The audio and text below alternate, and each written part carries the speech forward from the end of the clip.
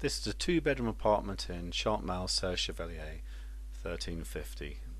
Lovely area of France. It's got two bedrooms, both facing towards the Col du Lautaret.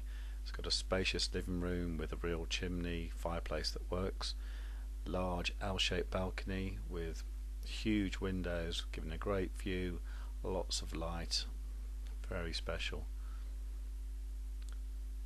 Got a kitchen that's uh, nice and functional, very original, original sink, everything. It's got a gas cooker that uh, runs on runs on bottled gas that only costs about 50 euros a year to run.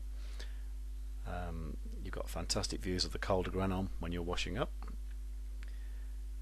There's the gas cooker I spoke of. The bathroom has a new sink unit.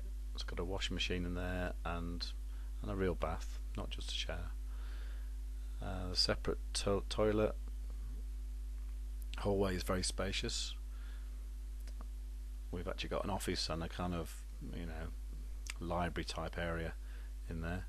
The views from the living room are spectacular. It's the uh, Piste Luc Alphand, very famous piece in Serre Chevalier.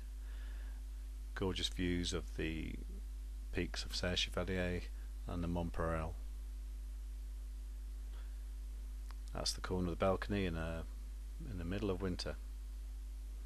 It's a great snow record Serre Chevalier has, and also in the summer, it's really green, lush, and very nice.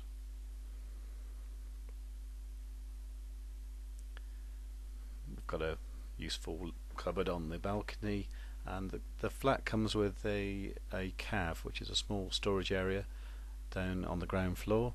It's got shelves which go to the ceiling, so you can stack stuff real high. It's a great storage area.